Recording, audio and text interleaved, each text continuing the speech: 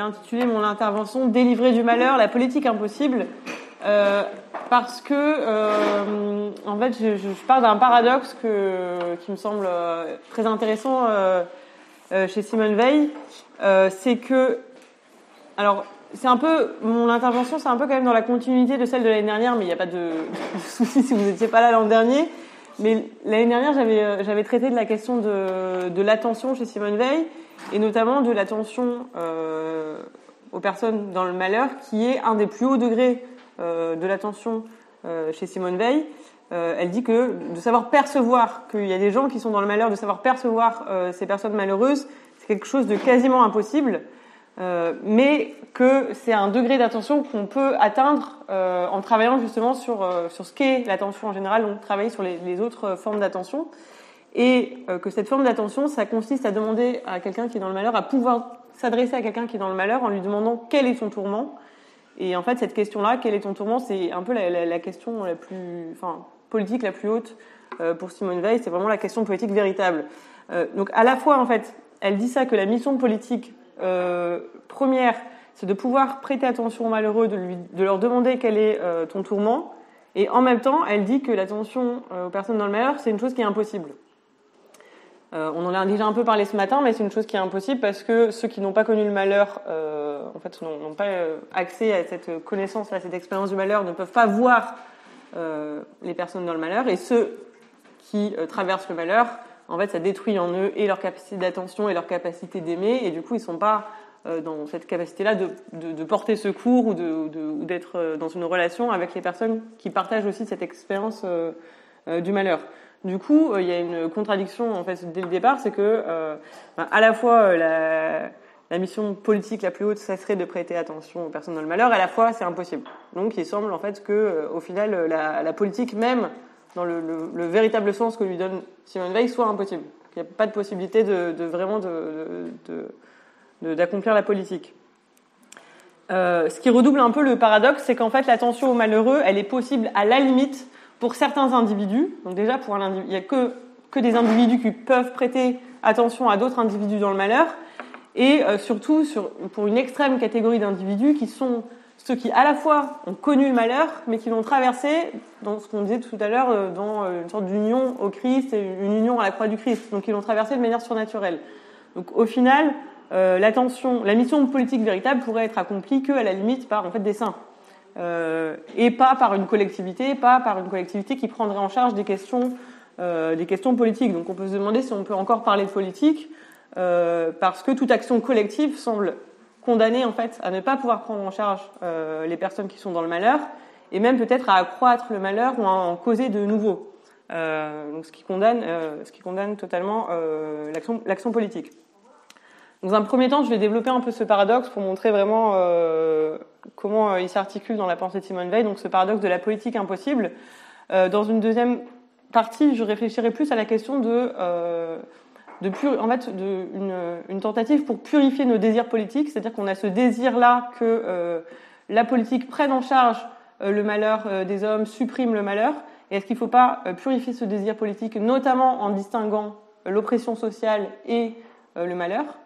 Et dans une troisième partie, j'évoquerai cette possibilité de peut-être politique à la limite, qui serait une politique d'une communauté de saints, en fait. Donc cette articulation aussi entre le, entre le spirituel et le, politique. Euh, donc prêtez attention aux personnes qui sont dans le malheur. Pourquoi c'est la seule véritable euh, politique pour Simone Veil? Euh, Donc elle dit hein, que la question politique par excellence, je disais tout à l'heure, est quel est ton tourment? En fait, c'est ce qu'elle dit au début aussi de l'enracinement, mais les fins de la politique, en fait, c'est de répondre aux besoins des hommes, aux besoins euh, de l'âme et du corps, parce que il faut, euh, c'est la première chose, la première des nécessités. mais pour cela, en fait, il faut savoir prêter attention au malheur des hommes de notre temps, savoir quel est le malheur qui touche les gens autour de nous, et aussi quel est le malheur de notre époque pour pouvoir répondre à leurs besoins, leurs, besoins physiques et spirituels. Donc ça, c'est la question, c'est ce que disait Ludivine ce matin, mais qu'elle traite dans l'enracinement en se demandant justement quel est le malheur de notre temps et comment y répondre. Euh, et donc, euh, l'attention, euh, vraiment la disposition véritablement politique, c'est d'être capable d'avoir cette capacité qui permet de discerner les gens qui souffrent du malheur autour de nous et de savoir comment y répondre, comment répondre à leurs tourments. C'est une connaissance en fait qui est expérimentale, qu'on ne peut pas avoir de manière intellectuelle et qui est la seule en fait qui à même de ne pas enfermer le politique justement dans une connaissance technique, instrumentale, qui serait déconnectée des fins euh, de, euh, de l'action politique qui doivent être euh, les besoins de l'homme malheureux. Mais en fait, pour, pour, les percevoir, on peut le faire que de manière expérimentale.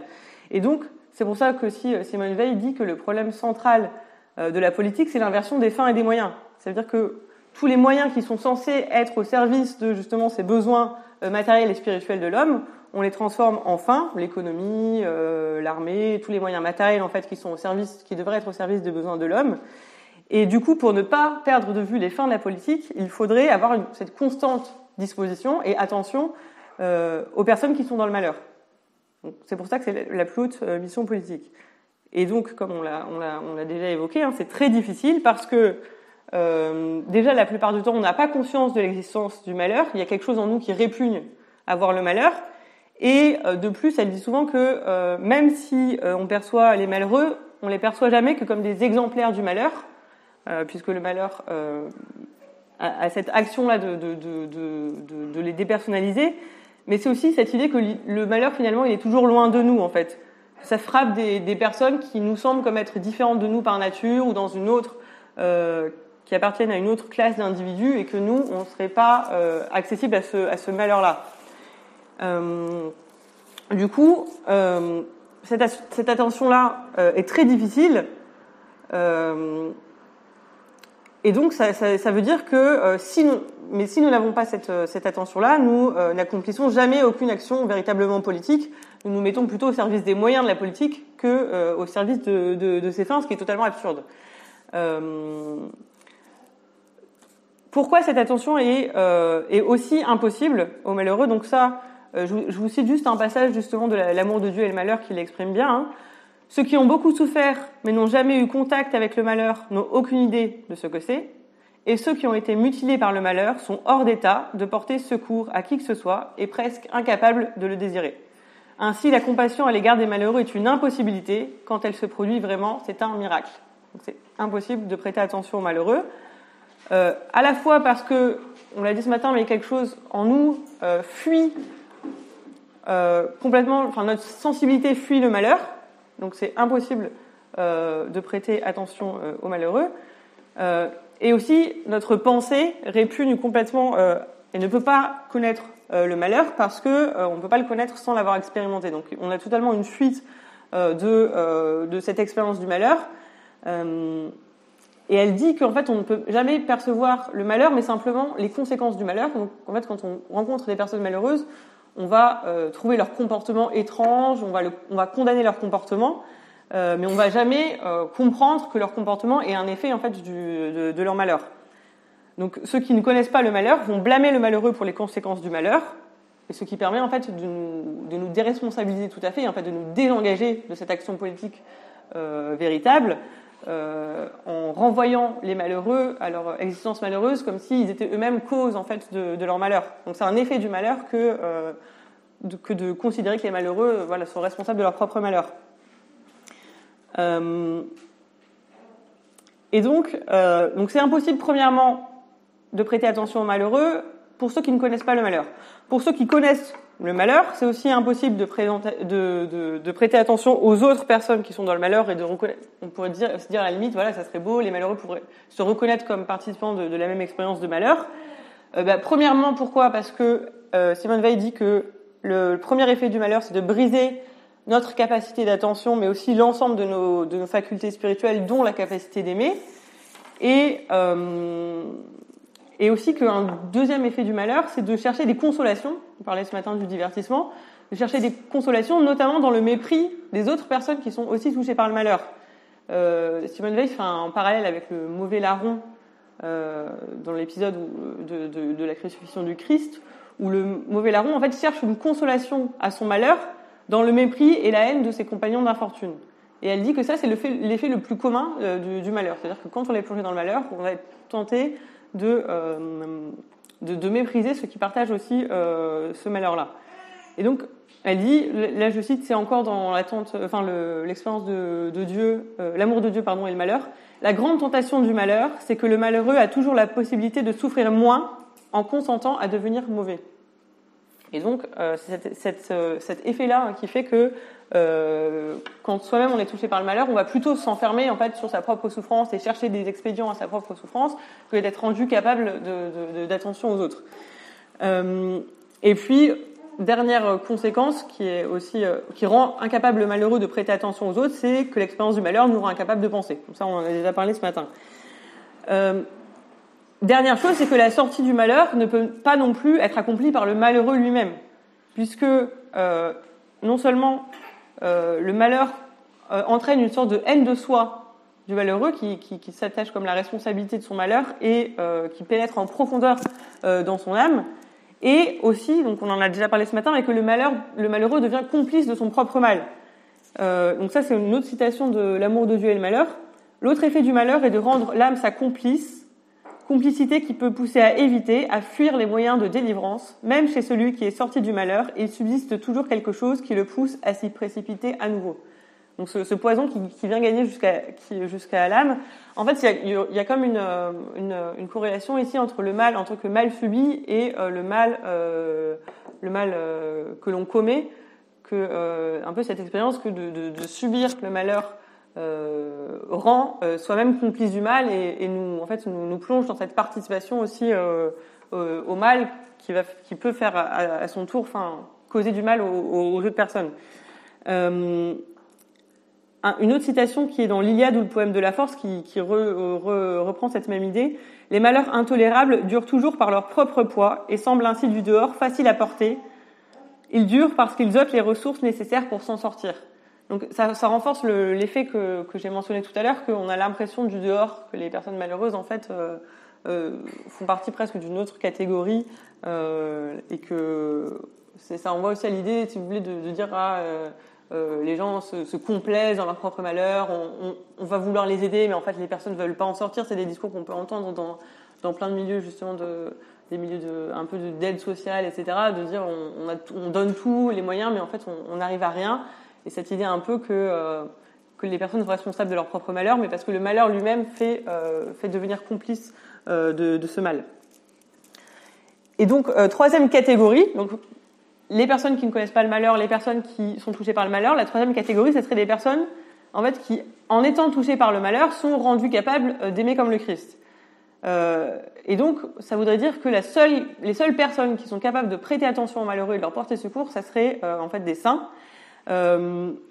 je cite encore l'amour de Dieu et le malheur. Celui dont l'âme reste orientée vers Dieu dans le malheur est cloué sur la croix même du Christ. Il ne faut pas désirer le malheur, car cela est contre nature, et surtout le malheur est par essence ce qu'on subit malgré soi, mais on peut seulement désirer, au cas où cela nous arrive, qu'il constitue une participation à la croix du Christ. C'est-à-dire que, euh, c'est ce qu'on disait un peu ce matin, on ne peut pas désirer le malheur, ça n'a aucun sens, et ça reste un scandale, mais on peut désirer, si le malheur nous atteint, ça devient une participation de, de, l'union aux souffrances du Christ. Et en fait, ce que ça veut dire, une participation aux souffrances du Christ, ça veut dire que, en fait, comme on est totalement, euh, on est totalement par l'action de la nécessité justement dépris de notre propre désir, de notre propre idée de grandeur, etc. Et ça nous rend capable euh, justement de nous déprendre de nous et d'aimer véritablement, d'aimer comme le Christ, parce qu'il y a seul, en fait, seul le Christ euh, peut aimer les personnes euh, malheureuses qu'il n'est pas empli de soi et de l'idée de sa propre, euh, de ses propres succès. Et donc, on pourrait, seule l'expérience du malheur vécue comme union au Christ permettrait, en fait, de, de porter euh, attention euh, aux personnes dans le malheur. Parce qu'elle dit, en fait, si vous voulez, que le premier effet du malheur qui est inévitable, c'est cette haine de soi. Le deuxième effet du malheur, c'est euh, d'être privé de la capacité d'aimer. Elle dit donc le premier est inévitable. Le deuxième, on peut l'éviter, mais seulement par grâce surnaturelle. Donc on peut continuer à aimer, euh, dans le malheur, mais euh, seulement par grâce. Et donc, en fait, elle dit les personnes qui continuent à aimer dans le malheur, c'est des personnes qui ont déjà, avant, si vous voulez, commencé un travail spirituel. Euh, c'est pas quelque chose, justement, c'est ce qu'on parlait, ce dont on, parlait ce matin de la question de, de préparer à l'expérience du malheur. En fait, c'est ça, c'est qu'elle dit, euh, je sais plus la, la, la métaphore qu'elle prend, c'est celle de, je pense, du, grain de moutarde, mais en fait, il faut d'abord avoir le, grain en soi et les branches de l'arbre qui, grandissent dans notre âme, dans notre, dans notre âme, si vous voulez, le, le, de, l'amour et de l'union au Christ. Et quand on vit euh, le malheur euh, dans cette disposition-là, c'est comme si vous voulez, en fait, le malheur serait simplement un effet en fait de faire grandir l'âme et que en fait la croissance elle est douloureuse, mais seule cette croissance peut permettre vraiment d'être rendu capable d'aimer comme le Christ et en même temps il faut déjà ces, prédispositions là. je vous cite le passage de, l'amour de Dieu et le malheur justement. Donc, l'homme à qui arrive le malheur ne prend aucune part à cette opération. Il se débat comme un papillon que l'on épingle vivant sur un album, mais il peut, à travers l'horreur, continuer à aimer. Aucune impossibilité à cela, car la douleur la plus grande ne touche pas à ce point de l'âme qui consent à une bonne orientation, donc cette orientation de, de, l'amour de Dieu. L'amour est une orientation et non pas un état d'âme. Donc c'est euh, seulement grâce à cette euh, orientation-là qu'on peut être euh, continuer d'aimer dans le malheur. Et euh, donc cette conséquence, hein, c'est qu'on peut du coup aimer comme le Christ, qui seul peut voir, à la fois percevoir et euh, répondre aux malheureux, aimer les malheureux. Euh, un autre passage de l'amour de Dieu et le malheur qui le dit très bien. Elle dit, euh, donc, j'essaie de sélectionner. Euh, donc ceux que le Christ reconnaît comme ses bienfaiteurs, ceux dont la compassion repose sur la connaissance du malheur. Donc à la fois connaissance du malheur et union au Christ. Et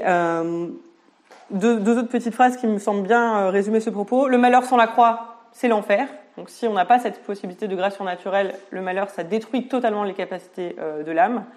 Le vrai malheur, une seule chose permet d'y consentir, la croix du Christ.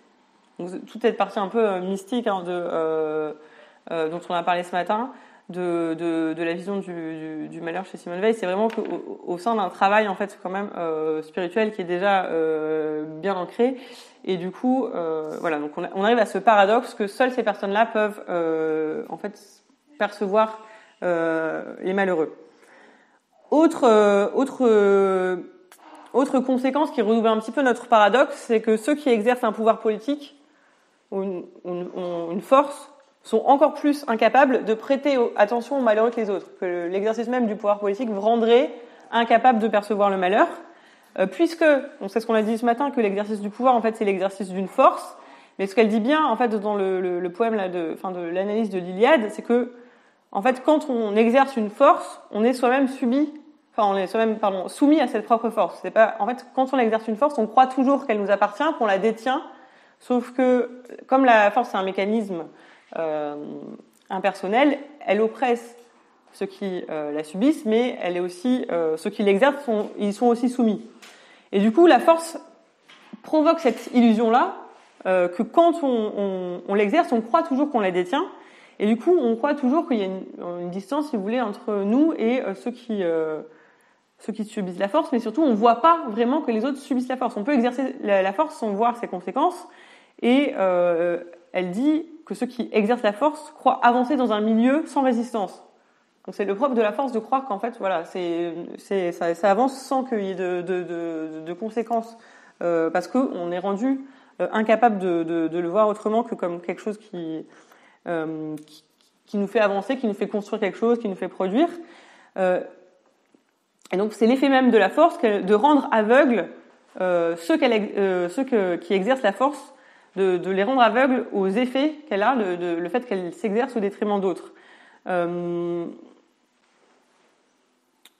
une citation de, de, de, de, ce passage sur l'Iliade. Celui qui possède la force marche dans un milieu non résistant, sans que rien, dans la matière humaine autour de lui, soit de nature à susciter entre l'élan et l'acte bref, et l'acte, pardon, ce bref intervalle, intervalle où se loge la pensée, où la pensée n'a pas de place, la justice ni la prudence non non. C'est comme si vous voulez, ceux qui exercent la force, ils avancent comme des bulldozers, ils voient pas les, conséquences, ils sont rendus aveugles par le fait même qu'ils sont emportés par la force. En gros, c'est un peu ça le mécanisme. Euh, et donc l'exercice du pouvoir euh, pousse naturellement à être euh, aveuglé euh, par les conséquences de cet exercice du pouvoir. Euh, un, petit exemple, c'est que Simone Veil cite souvent l'exemple des syndicats parce que justement pour elle, les syndicats, ça devrait être par vocation ceux qui perçoivent et qui prennent le plus en charge l'existence des malheureux. Mais elle dit que les syndicats eux-mêmes sont rendus incapables de cette mission-là parce que euh, ils vont être pris dans ce jeu-là, qui vont chercher à défendre leurs intérêts et non pas à défendre euh, l'existence euh, euh des malheureux. Et donc c'est la plus haute trahison pour elles, puisque euh, ce seraient les seuls qui seraient à, même de normalement d'endosser de, cette mission. Et donc pour, pour, terminer, pour terminer sur cette petite partie là sur le fait que euh, ceux qui exercent même euh, la charge ou le, pouvoir politique sont encore plus que les autres rendus incapables euh, d'exercer cette, cette attention là, ben, c'est redoublé par le fait qu'il n'y a pas d'attention collective. L'attention, c'est seulement une vertu individuelle. Et donc la dimension collective de la politique semble condamner cette, cette possibilité même de l'attention aux malheureux. Et donc là, je cite l'enracinement. L'État n'est pas particulièrement qualifié pour prendre la défense des malheureux, il en est même incapable s'il n'y est pas contraint par une nécessité et une urgence évidente qui vient d'une poussée de l'opinion. Donc, on arrive avec ce paradoxe euh, que euh, l'attention aux malheureux donc, serait à la fois la seule politique véritable, mais qu'elle serait totalement impossible. Euh, à ma deuxième partie, donc l'idée c'est de, de se demander si on n'a pas une espérance mal placée dans la politique quand on espère que la politique nous délivre du malheur Est-ce que c'est pas euh, quelque chose qu'il faudrait purifier? Euh, Notamment euh, parce que cette aspiration-là à délivrer l'humanité du malheur, c'est en fait une aspiration qui peut être la cause des pires oppressions. Ça, Simone Veil le dit bien. Je pense que c'est ce qu'elle condamne quand elle condamne en fait notamment une sorte de, désir mal placé qui, qui fait désirer la révolution. C'est-à-dire que euh, la révolution, justement, c'est ce une de désir que le malheur euh, soit supprimé. Mais comme euh, c'est une méconnaissance, si vous voulez, des véritables mécanismes de l'oppression, du coup, on imagine qu'on va pouvoir supprimer le malheur grâce à une action politique, sauf qu'on peut seulement remplacer une oppression par une autre. Et du coup, ce désir même de délivrer le malheur, en fait, c'est un désir qui est, qui est néfaste c'est un désir qui, euh, qui, a des, qui, a des, conséquences qui peuvent être encore pires, si vous voulez, que, euh, que, que, cette euh, intention louable de vouloir, euh, de vouloir supprimer euh, le malheur. Et donc, elle dit notamment que, que ce qui accroît le malheur, c'est dans l'enracinement, ce, ce, sont ces désirs-là de, de de, de, supprimer l'oppression sociale sans avoir une véritable attention à quelles en sont les causes, quelles sont les, les, et que les fausses solutions que l'on peut euh, imaginer, que l'on peut apporter au malheur, en fait, sont toujours euh, des, des, causes qui font qu'on peut accroître euh, l'oppression. Et donc, il faut en fait se guérir de ce qu'elle appelle justement l'imagination, qui sont les mirages auxquels on croit en politique, les idéologies, les révolutions, parce qu'en fait, au final, c'est toujours croire au règne de la force, croire qu'on peut par la force qu'on peut par la force euh, supprimer l'existence même du malheur. Je reviendrai un peu euh, à la fin justement sur une réflexion de est-ce que pour euh, prendre véritablement en charge le malheur des hommes, il ne faut pas justement accepter une sorte de, de contradiction, hein, de, de, politique de la faiblesse. Et donc, elle, elle ajoute d'ailleurs dans les réflexions sur les causes de la liberté et de l'oppression sociale qu'en raison même de la nature du pouvoir et de la force, quand on croit délivrer le malheur par ces moyens-là, en fait, les conséquences sont euh, encore pires. Donc je cite ceux qui possèdent un pouvoir ne peuvent travailler à affaiblir leur pouvoir sans se condamner à en être dépossédés. Plus ils se sentiront animés de bonnes intentions, plus ils seront amenés, même malgré eux, à tenter d'étendre leur pouvoir pour étendre leur capacité à faire le bien, ce qui revient à opprimer dans l'espoir de libérer. Et là, elle prend comme exemple Staline. Donc, euh, je vais, enfin voilà, je, je, en fait, ça, ça, suppose pas mal de choses sur l'existence justement du fait que le pouvoir euh, ne peut pas perdurer sans, euh, sans chercher toujours à euh, s'étendre sur ce qu'elle, à, à la fois sur ce qu'elle opprime et sur les, les ennemis extérieurs. Euh, mais du coup, c'est la même chose pour même un, pouvoir qui tendrait, qui, qui, tendrait à vouloir faire le bien de ses citoyens. elle dit que c'est encore pire parce que du coup, on veut toujours étendre son pouvoir pour faire plus de bien et que les conséquences sont que le, le malheur, comme oppression sociale, en tout cas, accroît. Euh, deuxième chose pour laquelle il faut désirer, euh, enfin il faut pardon purifier ce désir-là que la politique nous délivre du malheur, c'est que en fait il y a un malheur qui est, enfin qui, qui est résiduel, qui est métaphysique, qui est donc l'effet de la nécessité aveugle et qui est impossible à supprimer. Euh, et du coup, euh, il faut en fait, je pense que la, la, il faut avoir conscience que le malheur n'est pas seulement euh, une conséquence de l'organisation sociale, de, de l'oppression sociale, pour pouvoir justement euh, euh, purifier ce désir-là. Mais il faut aussi, euh, parce que c'est une prétention du coup qui serait absurde hein, et dangereuse que de, de, prétendre le supprimer par des moyens politiques, mais il faut voir dans le malheur qu'est-ce qui est, qu'est-ce que l'on peut imputer justement à l'organisation sociale et à l'oppression sociale. Donc c'est de distinguer justement, c'est ce travail que de, de, distinguer entre d'un côté le malheur au sens métaphysique et l'oppression sociale. Et l'ambition politique qui serait plus adaptée que de supprimer le malheur, c'est de réduire au maximum le malheur comme conséquence de l'oppression sociale. Donc, distinguer l'oppression sociale et la contrainte naturelle, euh, ça c'est le travail que, fait Simone Veil, surtout dans le, la réflexion sur les causes de la liberté et de l'oppression sociale, où elle dit qu'il y a une, en fait que euh, on a remplacé la contrainte naturelle par l'oppression sociale euh, et que euh, la contrainte naturelle est en elle-même inévitable et qu'il faut il faut s'y soumettre, mais que il faut lutter contre la contrainte sociale qui a pour effet justement de d'opprimer, d'aliéner, de causer le malheur. Mais même au sein de la contrainte sociale, il est, en fait, elle dit, il n'est pas dit que euh, on puisse entièrement se passer de la contrainte sociale et du coup atteindre une sorte d'état où il y aurait plus du tout d'aliénation. C'est-à-dire, il faut penser les conditions actuelles de l'oppression sociale pour voir est-ce qu'il n'y a pas une, une oppression qui est presque une sorte de moindre mal qu'on serait obligé de, si vous voulez, qu'il y ait une sorte de nécessité du fait qu'on ait une organisation collective et que toute organisation collective euh, suppose des contraintes, et de distinguer ça de euh, d'une oppression euh, sociale qui aurait pour effet l'aliénation au sens de, de, de, de, de précipiter des individus dans le malheur, au sens que ça détruit l'ensemble de, leur capacité spirituelle.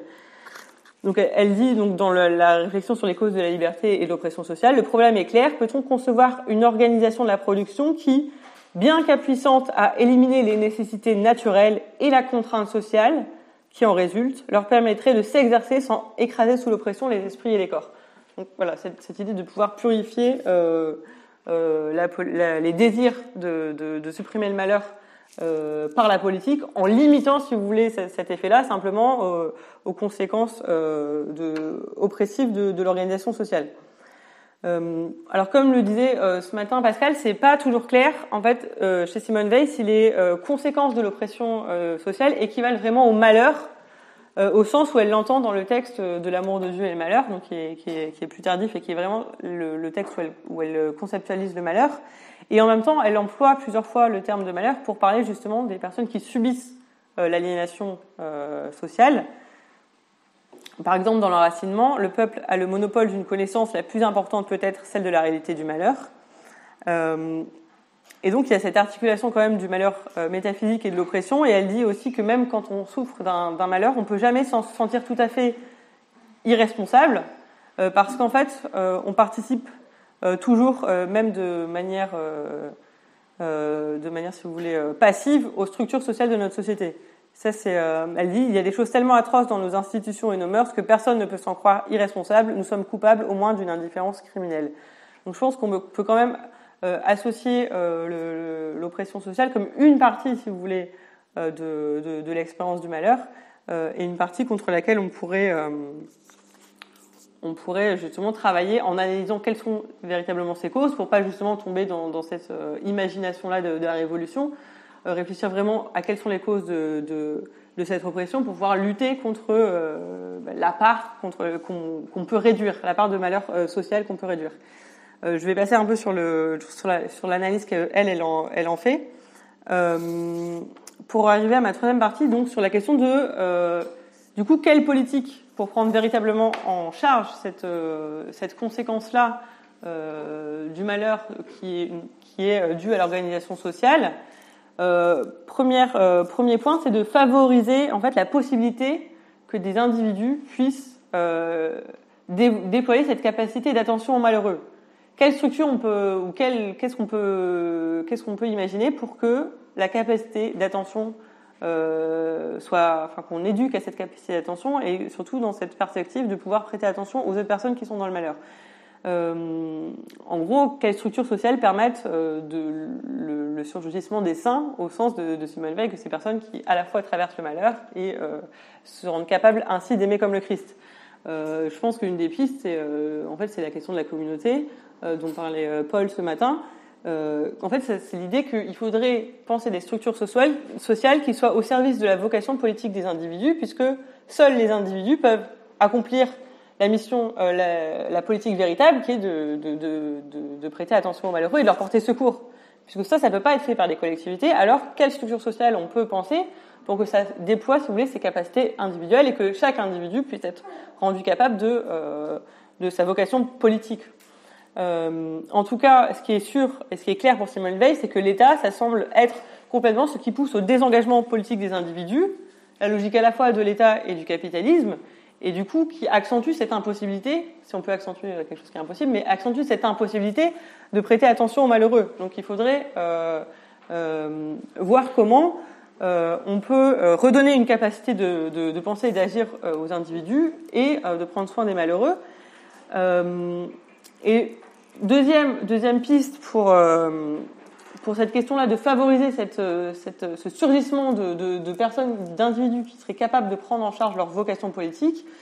c'est l'articulation du politique et du religieux, du politique et du spirituel, du spirituel, pardon, puisque si seul le Christ donne la capacité d'aimer les malheureux et de les sauver du malheur, euh, ça invite aussi à repenser l'articulation de euh, du politique et, de la foi. Euh, D'ailleurs, quelque chose qui m'a vraiment frappé dans l'amour de Dieu et le malheur, c'est qu'elle parle à un moment juste à titre d'exemple de la justice pénale, en disant que la justice pénale qui est coupée de tout lien avec Dieu a une couleur infernale, elle se salit au contact de toutes les souillures et n'ayant rien pour les purifier, elle devient elle-même si souillée que les pires criminels peuvent encore être dégradés par elle. L'idée, c'est que la justice pénale sans la foi, en fait, ça ne, permet pas de sortir les criminels de leur sorte d'aptitude à commettre le mal et, et cet entraînement du, du, mal que l'on commet, du mal moral. Euh, et elle dit rien n'est assez pur que le Christ pour mettre de la pureté dans les lieux réservés au crime.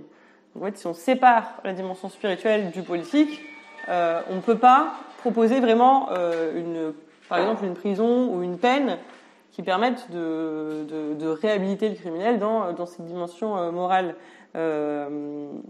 et du coup, euh, il y a tout un passage sur le fait que en fait, l'amour, finalement, l'amour que l'on peut porter au, au, criminel en tant que personne, c'est possible que pour le Christ. Seul le Christ peut aimer les criminels ou les saints qui sont rendus capables d'aimer comme le Christ. Et du coup, donc ça, ça, ça repose cette question de comment euh, articuler euh, cette mission politique primordiale de réhabilitation des criminels avec, euh, avec, euh, avec une, action politique qui viendrait de la foi.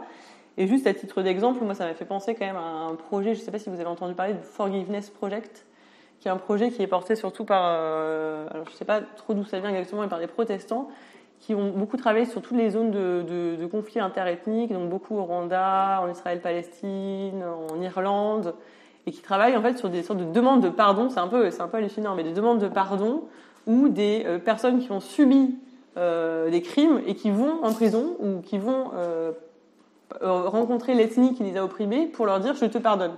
Et en fait, il y a, après, il y a beaucoup de vidéos, vous regardez sur Internet, je trouve ça assez fascinant, de, justement de, criminels qui ont commencé un chemin de, vraiment de reconstruction personnelle et, à partir de cette demande de pardon-là. Et ça a des conséquences assez, assez incroyables. C'était juste un petit aparté, mais je trouve que c'est une piste euh, qui est assez euh, intéressante de cette articulation, euh, cette articulation-là. Deuxième piste pour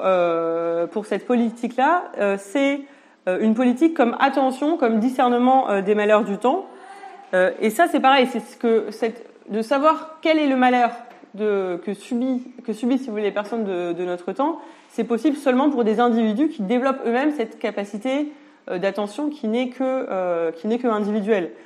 Euh, donc, ça s'enracine seulement de des individus vertueux de pouvoir prêter attention à euh, quel est le malheur euh, du temps, donc de, savoir sonder une sorte de, de si vous voulez, de, de, de capacité de savoir euh, sonder, percevoir ce malheur et d'y répondre. Donc on peut se demander quelle, enfin, quelle personnalité ou quelles personnes aujourd'hui font vraiment ce travail-là, ce travail politique, de se rendre attentif au malheur de aux malheurs sociaux et de, de, pouvoir le, ne serait-ce que le relayer. Euh, je vais passer un peu, plus loin. Euh, en tout cas, c'est le travail qu'elle qu fait, elle, dans le dans l'enracinement, pour le dire de manière rapide, en essayant de, justement de, prêter attention à ce malheur-là de l'époque qu'elle diagnostique comme l'enracinement, avec tous les, les, éléments que nous a donné euh, Ludivine ce matin Mais euh, pour ça, il faut une très haute capacité d'attention, en fait, qui, qui, qui, qui nécessite euh, beaucoup de, de capacité euh, déjà d'être très avancé dans cette vertu d'attention pour pouvoir euh, faire ce, ce constat-là. Juste une petite citation de l'enracinement sur ce travail-là. Il faut pour cette tâche un intérêt passionné pour les êtres humains, une capacité à se mettre à leur place et à faire attention aux signes de pensée non exprimés, un certain sens intuitif de l'histoire en cours et la faculté d'exprimer par écrit des nuances délicates et des relations complexes. Donc on voit que c'est quand même quelque chose qui nécessite une, très haute euh, euh, disposition d'attention. Troisième petite, euh, petite piste, c'est la question d'une politique sans la force. Donc évidemment, c'est un paradoxe une politique de, la faiblesse, puisque Simone Veil n'arrête pas de le dire que la force est par nature oppressive et que la connaissance du malheur, ou du moins euh, l'expérience que tous peuvent y être soumis, euh, en fait, elle est, on y est accessible que si on a conscience justement que la force n'appartient pas à ceux qui l'exercent, qu'on peut tous être exposés euh, aux conséquences de la force et à la, nécessité. Euh, et du coup, elle dit qu'on ne peut pas désirer euh, l'expérience, enfin d'être soumis à la force, on ne peut pas désirer l'expérience du malheur, mais on peut, euh, on peut euh, aimer ce qui nous rend euh, capable de subir le malheur, c'est-à-dire notre fragilité, notre faiblesse. Ça, c'est aussi dans l'amour de Dieu et le malheur, où elle dit que on peut on peut aimer en nous ce qui nous rend euh, susceptibles de vivre le malheur, c'est-à-dire euh, le fait que notre constitution, constitution, physique soit faible, le fait que nos forces euh, psychiques, spirituelles soient faibles, le fait qu'on soit constamment euh, soumis euh, parce qu'on est interdépendant avec les autres au fait d'être, de pouvoir être blessé, de pouvoir être, de pouvoir être que les autres nous fassent du mal, et cette, cette triple fragilité, triple pardon fragilité là que l'on doit aimer parce que elle nous rend capable d'être malheureux. Et alors, si on est malheureux, on peut, euh, on peut, ça peut être l'expérience justement de, euh, voilà, de, cette connaissance de la nécessité et de l'amour, euh, euh, de l'amour à Dieu. Et du coup, donc elle dit, il faut, euh, il faut aimer cette faiblesse-là. Et donc l'idée ici, ça serait de dire de, de, développer une politique ou au moins une, une conscience euh, politique, une culture de euh, la fragilité, en tant que cette fragilité-là, cette triple fragilité-là, euh, nous, rend, euh, nous rend justement accessible au malheur. Euh, et donc, dans la réflexion sur les causes de la liberté et l'oppression sociale, elle dit justement que cette civilisation qui, serait fondée sur la, conscience de notre faiblesse euh, est belle parce qu'elle nous rend justement capables euh, de comprendre que nous ne sommes pas euh, les maîtres de l'univers, mais que nous devons nous rendre obéissants à Dieu. Et c'est seulement cette conscience de notre faiblesse qui nous rend capables d'aimer en vérité, en concevant justement que les autres sont des frères, puisqu'on est tous, en fait, on participe tous de cette même fragilité et qu'on est tous susceptibles d'être exposés au malheur. Qu'il n'y a pas d'un côté ceux qui exercent la force et de l'autre côté ceux qui sont, euh, qui sont des, victimes du malheur. Et donc, euh, elle dit que la base de la fraternité, au sens fort, en fait, c'est cette conscience euh, du malheur partagé. C'est aussi, en fait, en fait, c'est exactement le même parallèle qu'on peut faire avec cette idée de compassion pour la patrie, hein, de passer euh, d'un amour de la patrie qui serait, qui serait fondé sur le sentiment de la grandeur de la patrie, un amour de la patrie qui serait fondé sur la compassion, c'est que la compassion pour la patrie, c'est justement d'aimer ce qui est dans la patrie aussi, euh, de, discerner ce qui est bon dans la patrie, mais d'aimer aussi euh, ce qui est bon parce que c'est quelque chose qui est faible et qui est constamment, euh, exposé à la possibilité de la destruction. L'amour pour la patrie malheureuse, c'est l'amour qui peut avoir les yeux ouverts sur les injustices, les cruautés, les mensonges, les erreurs, les crimes contenus dans le passé, sans dissimulation ni réticence et sans en être diminué, il en est rendu seulement plus douloureux, puisque euh, justement l'amour qui est l'amour de compassion, c'est l'amour qui discerne que les choses euh, sont qui sont belles et qui sont bonnes dans la patrie sont aussi des choses qui sont fragiles. Et donc je vais terminer euh, en concluant là-dessus, hein, c'est que du coup la politique véritable,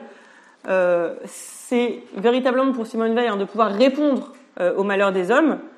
mais pour cela il faut être rendu capable de, de, de, de discerner le malheur et de répondre à cet appel-là que nous, que nous adressent euh, les personnes dans le malheur. À la fois, donc ça nécessite un travail personnel de se rendre soi-même capable euh, de porter attention aux malheureux, donc par l'union à Dieu Et si le malheur nous est donné par cette confiance que qu'on peut le vivre dans une sorte de, de par grâce surnaturelle et qu'on peut continuer à aimer, donc être saint pour que Dieu aime à travers nous, puisque lui seul peut aimer le malheureux, mais ensuite travailler à ce que d'autres hommes soient rendus capables de cela, à la fois par la, suppression justement des collectivités aveugles qui seront jamais euh, capables de prêter attention aux malheurs des hommes, ou en tout cas en les contournant peut-être, et en redonnant ce pouvoir d'agir et de penser euh, aux individus, par exemple, comme je le disais tout à l'heure, en recréant des, communautés, et puis dernière piste, en euh, répandant le sens et la valeur de la fragilité humaine, ce qui permettrait aux hommes en fait de répondre à leurs désirs justement leur désir profond de grandeur. Donc elle parle beaucoup dans l'enracinement, c'est-à-dire il faut donner euh, aux hommes, répondre aux hommes à leur désir de grandeur, pas par ce désir justement de la grandeur de la patrie, etc., mais par le désir, par le, ce que la grandeur véritable, c'est-à-dire l'amour des autres hommes par compassion, l'amour des malheureux et et euh, cette sorte de spiritualité dans le travail dont, parlait aussi euh, tout à l'heure euh, Ludivine.